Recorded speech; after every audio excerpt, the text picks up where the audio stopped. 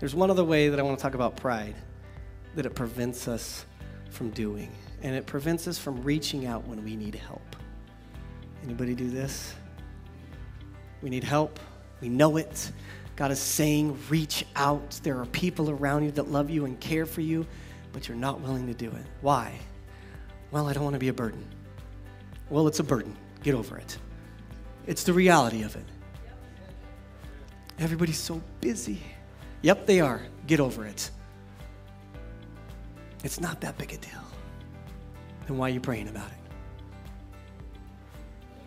See, when we are too proud to ask for help, we are being not loving, we're being unloving. Did you, did you hear what he said there? That when, when we carry each other's burdens, we fulfill the law of Christ. We don't, I don't carry somebody's burdens because it's easy. I carry and you carry somebody's burdens because you care, because you love them, and that's because He first loved us.